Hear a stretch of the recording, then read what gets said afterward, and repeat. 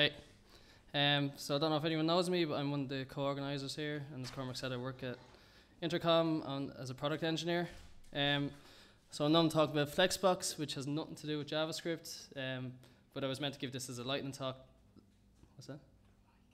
Oh, yeah, it's good. I was meant to give this as a, a lightning talk last month, month, but was sick, so I've kind of extended it, and we'll see how we go. Um, so I don't know many people have seen this, but this always appears on, on Twitter every now and again. Um, it's generally a lot of people's experience with CSS. And generally, when they talk, when they see this, and this is their pain for CSS, they're generally talking about layout.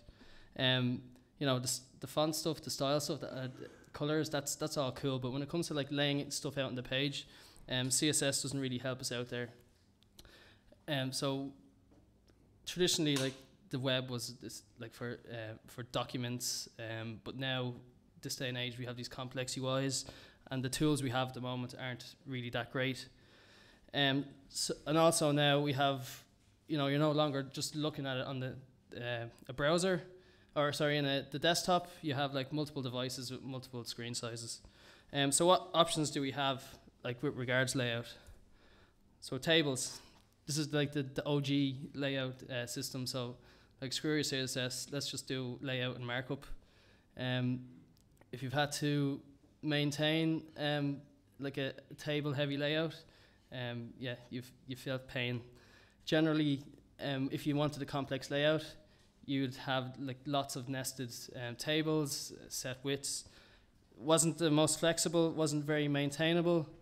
Um, in general, it's not semantic either. Like I'm not a semantic kind of zealot, but um, generally tables are just for like show, uh, provi- displaying data, not really for layout. Um, but worst of all, like the basically developer experience with tables is awful. If you've ever had to maintain like HTML newsletters, which in this days a this day and age we're still doing because of client email client shittiness, um, yeah, this is it's not good. So floats. Um, this is probably the most used form of you know creating layouts. Uh, so basically, like you shift a box around the line. Um, traditionally, for you know, the, the way the web was with pages and images, this was great. You float an image left, the text would just run alongside it. But over time, like we've kind of shoehorned this into using it for more complex layouts. And it doesn't really suit the, the tool for the job. Um, one of the main problems is was when you put something in a float, it it moves out of document flow as you can see here. So we have two elements. You float them left. The parent just goes, oh, "I've no children," and just collapses. So over the years, we've had all sorts of hacks just to make this work. Um, used to stick a div in with like clear both, so it'd make it um, the parent, you know, encapsulate them, or um, or like use overflow or some stuff like this. Um, but this is the kind of the most way people do it now is like the clear fix, um, which is this is an example of the one which is in um, the HTML5 boilerplate. When it's called micro clear fix. So instead of using a div, you're just using a pseudo element. Um, and this has actually become more popular. People use an inline block to do layout. It's actually quite flexible in that because inline is for laying out text, you can do some nifty stuff like you can reverse all the divs by you know, using the direction um, property, or you can center all the text just by using like text align center. But because it's, you know, for laying out text, it's white white space dependent, and the problem with that is is that you if you line up all these divs, you get this horrible little um, like three or four pixel gap in between each element. So to rectify that, there's all sorts of hacky ways of getting rid of it. So one is like doing margin margin left, margin right, like minus four pixels. Um, another one is you set font size zero on the parent, and then so that'll make them shrink up, and then you put back the actual font size back on the the, the children. Um, and the, probably the most hacky I've seen is where you actually remove the the end tag. The HTML5 allows you to do this, and people do it, where you remove the end tag, and actually the, it works. Another one I've seen in um, Inuit CSS is where they, they put comments in between the start and the end of the tag um, so that it just strips all white space. it's kind of nasty, but it's you know people do disastrous things just to do what they want. This is one that I haven't seen often, but it's it's been done. So essentially, you're absolutely positioning everything on the page. Um, so this is a, a framework called GSS. It's pretty cool what it is, but essentially it's a it's a it's a JavaScript framework which tries to implement iOS's auto layout. I don't know if anyone knows what that is, and it implements something called. I'm not going to get into the details. It's kind of crazy. It's called the Cassowary Constraint Solver, and what it does is it allows you to define your your elements on the page in relation to each other. For example, I don't know if you can see that. We have a H1, and its center is equal to the the x-axis of the, the p tag to the center of the, the image, and no matter how much you shrink that, or um, the JavaScript will work out exactly where the center is and where this should lie. And if you can see down the bottom, probably not. Um, it uses JavaScript and basically just absolutely positions these in the page. Um, while it's cool, it, I don't know if it's really production wise because every time you, you resize, you you have to recalculate your whole layout. So I guess this brings us to um, Flexbox. So it's been around a few years, so about it's like 2009, but it's only really, really in the last um, two or three years where kind of it's got a lot of people using it, and the reason is, is it's kind of gone through a lot of um, flux. So there's been three major rewrites of the spec. Um, the first two rewrites they were pretty much they didn't work. They were implemented by some browsers. Um, in particular, the second one was only implemented by I think by IE9. Um, but now the latest spec, it's it pretty much works in all evergreen browsers, um, which is a good thing. Um, so on the in regards layout on the web, we have block for like laying out document level stuff. We have inline for text. We have tables for tabular data. We have positions for like laying out stuff not in relation to anything else on the page. And then we have flex which supposedly is meant to cure all our woes for de- developing uh, complex UIs. So there's a few key concepts, I think, with um, with Flexbox.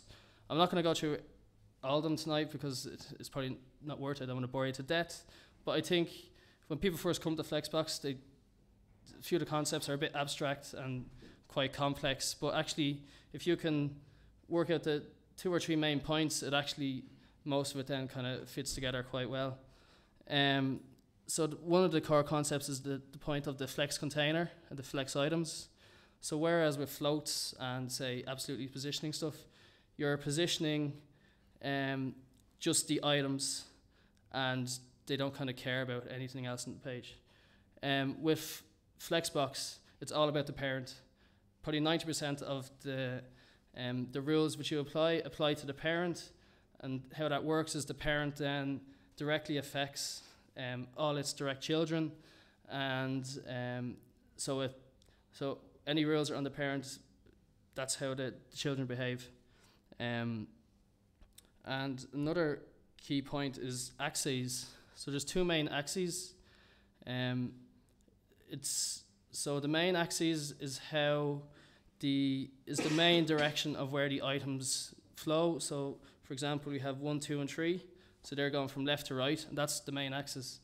So the main axis, and then you have the cross axis, which always goes perpendicular to the, the main axis.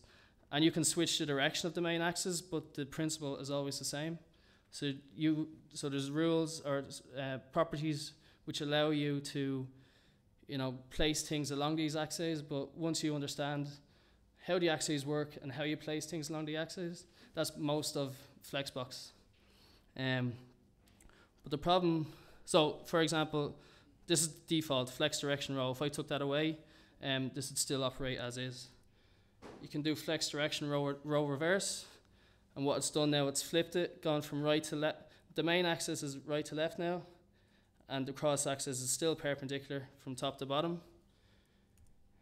If you do flex direction column, the main axis now is from top to bottom, and the cross axis is perpendicular again from left to right. And similarly, you have column reverse, which is um, bottom to top and then left to right. So they're the four directions, if you can understand that. And then understand how to manipulate things along these axes, you've kind of got Flexbox. So there's two ways. So you can manipulate. Um, there's selectors for, or sorry, rules for um, manipulating each each axes. They're not very intuitive. Like if you look at that, yeah, how are you meant to know which is which? So justify content works with the main axis. Align items works with the cross axis. So in my own head, I was like, I need to remember this. So I just thought, oh, main axis, justify content, cool. M and J, king of pop. So if you just think of that, you'll always remember um, main axis, justify content, and you nailed it. Um, so I'm gonna try some live coding, which is always always bad, but we'll see. So, so for example, this is um, so here we have just four divs, and this is how to look on the page. Just to get going on the flex container, just go display flex. Now they magically go into a grid. So now, as I was saying before, we have a, a main, the main axis goes from left to right. And if I apply now a justify content property, I can now move these along this main axis. So if I go justify content, if I could type. So by default, it's got a property called flex start, and that's the top left. But then if I go flex end, they'll magically jump over there. Other properties include center. Let's go into the center. So the parent is, is looking at its children and all the available space, and then dynamically kind of just moving it into that space. So if I like re resize my browser, it'll always be in the center. So there's another one called space between. And basically what it does is it works out the space and then evenly divides it between them. And there's another one, space around. And it kind of works similar to the last one, except it kind of um, it places the space around them rather than kind of, I don't know how you describe it, it works. um, so then we have align items. So line items works along the cross axis. So again, the default is flex start. But that's doing nothing there. Um, oh, actually, I left in a bit of code which I shouldn't have. But yeah, okay. So we have flex start, but if you go flex end, jumps to the bottom. Again, we have center. And then we have a cool one called baseline. So what this does, this is, um, so what it does is it looks at all the fonts and tries to line up all the fonts in relation to each other. So say, so each of these has a class of one, two, three, four. So say I do the first one is like a class of font of 50. That's gonna jump. So one isn't they're all on the same level now. And similarly, if I do it for the the next ones.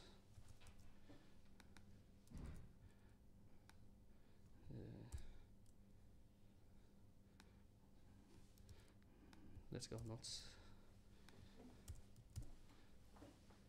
No, wrong.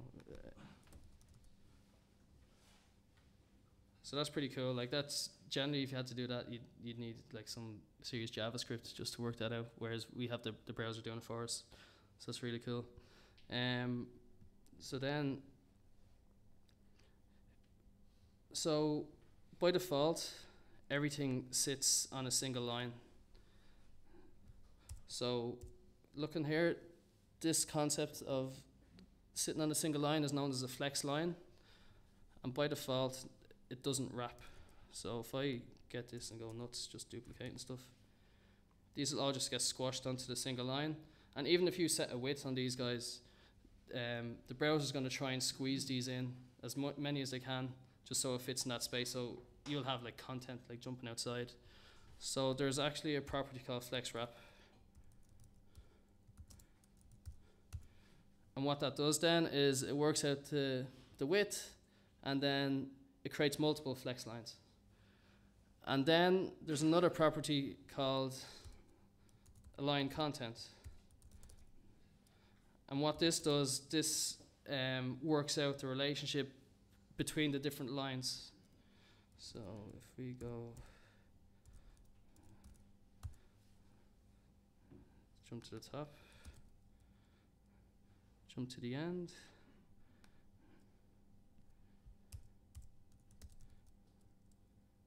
Jump to the center.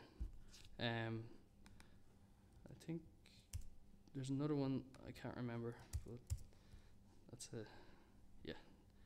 Um, and then probably one really cool feature is with Flexbox you have true source order independence. So if I go back to my four items. So where usually you just apply to the parent, if you you can actually apply an order to each individual item. So say one. Um, so that's actually jumped to the end, and the reason it's j- one has jumped to the end is because by default, um, everything is of an order zero. So you can also do um, minuses.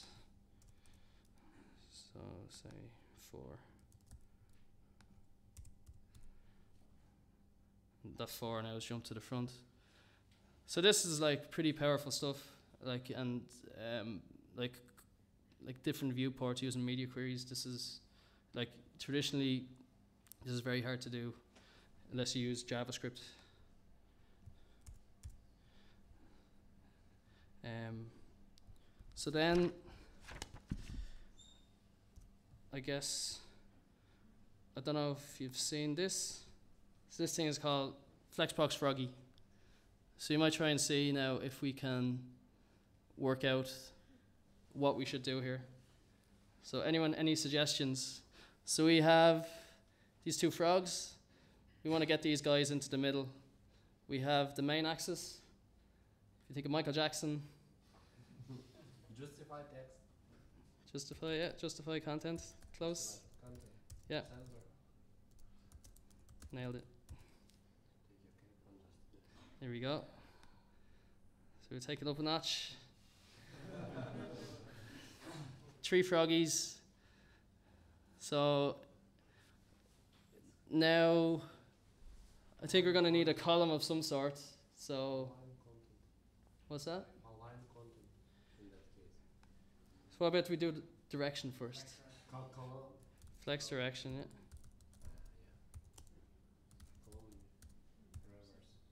Reverse. Ah, but reverse. we want the red guy at the top, so yeah, there we go. So now, so now the main axis has now become the column, and we now want to spread these guys out. There we go.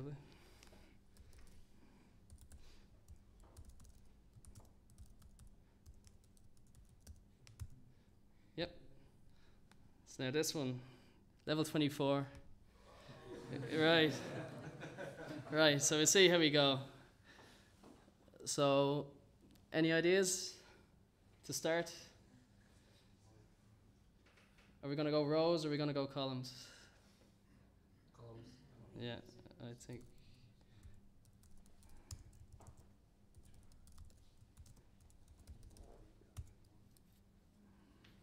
All right.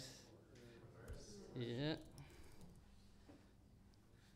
So, so now, Center and okay, I think you're right.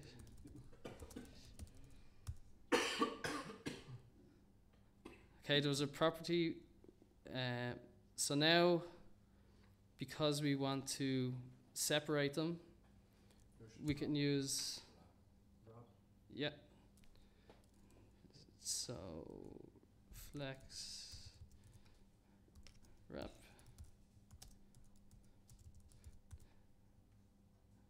Okay, so I didn't tell you about this one, but there's a wrap reverse.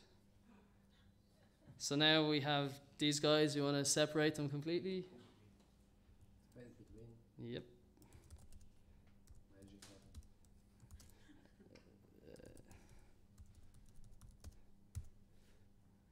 I shit.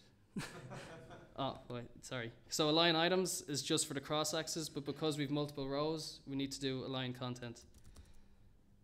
There we go. So now you all know Flexbox. Um, so if we go back to my slides.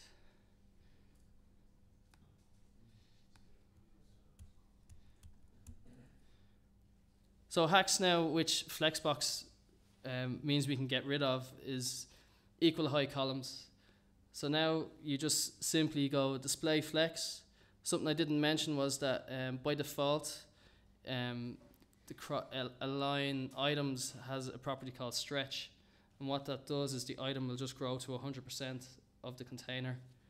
So if you wanted to do this in the good old days, I remember there was a hack called the faux column hack, where you used to apply, um, used to put the, the columns actually as a background image on the container. Because you had all these guys as different heights, um, it looked like they were a column. And so you'd actually have those three colors as a background. Um, other ones I've done myself is like writing JavaScript to work out the, the, greatest height and then apply that to all the columns. Used to get tricky when you had like multiple rows and each row would have um, different heights. So then you'd have to, you know, take it in, in groups of three or something like that. So equal height columns, two or three lines of code. Centering in the unknown. This is like, uh, yeah, this is when I first seen this, I, I just couldn't believe it. It's like all the heartache and pain over the years, like just doing centering, like for God's sake. Um, so one hack, so one hack, or like if you had, if you knew the, the width and height of something, you could kind of easily do it by going position absolute, shift something to the left, so it was in the middle, and then the margin left the width of the item, and yeah, it was magically uh, in the center. But if that grew anyway, you yeah, you had to do use JavaScript or something. You'd use tables, but that was kind of nasty. Um, whereas now, you know, three lines of code and this can grow to as high or as wide as you want and it'll always be like in the center. Um, so as was shown earlier, source ordering. So with responsive now, you know, um, your content may have different priorities. So on a, say in a desktop, you'll have your subnav at the top, you'll have your main content.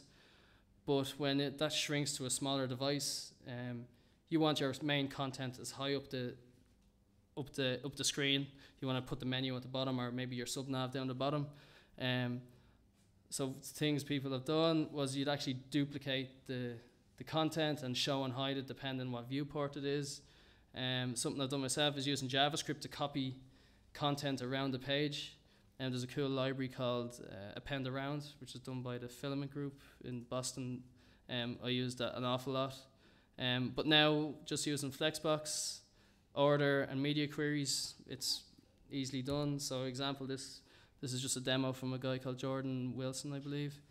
So he has like a, a header, navigation, main content, but he wants the navigation then to move to the bottom.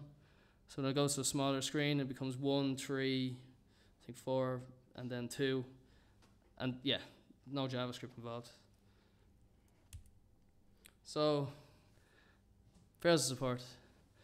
Um, so I guess if you're lucky like me, working here, we only deal with evergreen browsers. Like even IE11, I don't even think. Do we support IE11? Yeah. Oh yeah, we do. Okay. um, so IE11 is so all the evergreen browsers. IE11 is weird in that it has it's extre- it does the latest spec, but is extremely buggy. Um, IE10 has the old spec, which I think no one implemented except IE. And if you want to implement it in IE9 and IE8, you have to use like a JavaScript library or something like that. Um, but otherwise, yeah, I guess it's getting a lot of traction now because it's been used and it can be used in a lot of browsers. So wrapping up, Flexbox is uh, Flexbox. Flexbox is pretty much ready. Like if you only care about evergreen browsers, at first, on the surface, like some of the terminology and how things work is a bit weird, um, and it, yeah. But if you just learn a few key concepts, it actually kind of all falls into place. There's a lot more than what I spoke about tonight, but there I think is the main part of Flexbox. And as you're saying, allows you to create really complex layout, layouts really easily. No more hacks, and um, I'll put them on the slides. But there's lots of really amazing resources out there, and I pretty much robbed from all of them just to make this. Um, so, thank you.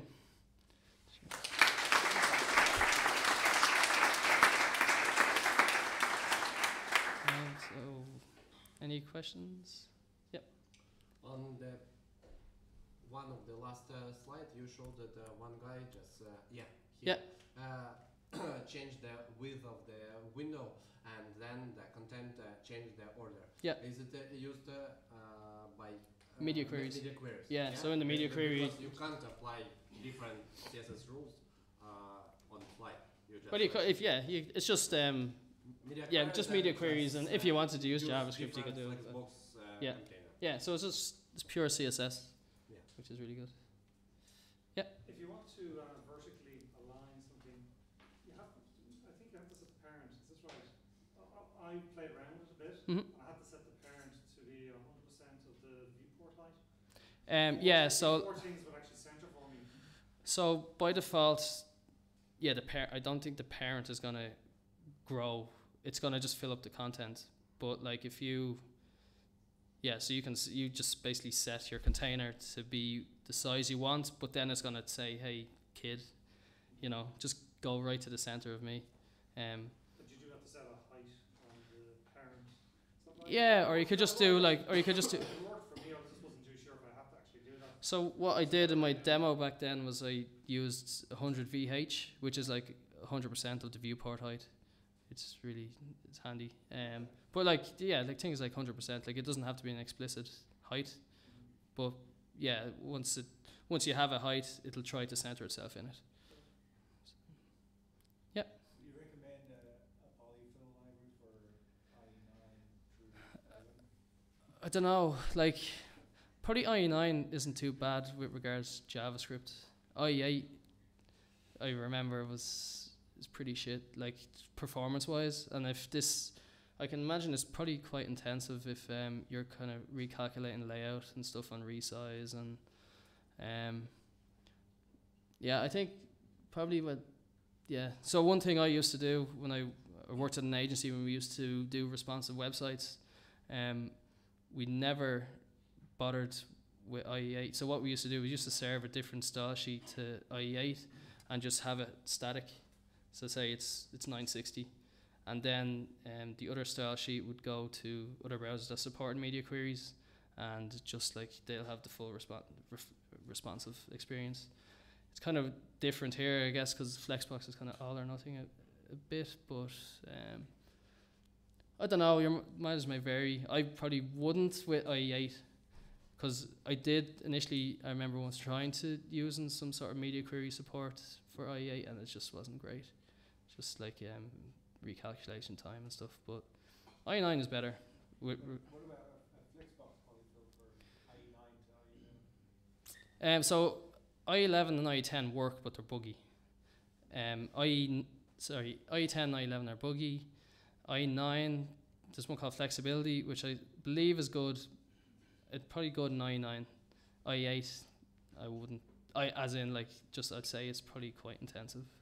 So Sass has prefixes that you can use as well. oh does it okay? Spit out some of the, you know, the required. Yeah, it'd probably help you out there. Yeah. So I think with stuff like this, it's the, I guess, diminishing returns when you get to. Depends on your audience, I guess. If you're building a, an internet site for like Bank of Ireland or someone, sorry, Bank of Ireland, if you're here. But um, like, and imagine, yeah, XP IE8 is their main experience. Um, you probably have to go all in with like floats or whatever. But if it's like one percent, yeah, just I wouldn't, I wouldn't worry too much about it. yeah, yeah. I don't. Thankfully, I don't have to deal in that world anymore. So, um, any other questions? All right. Thanks.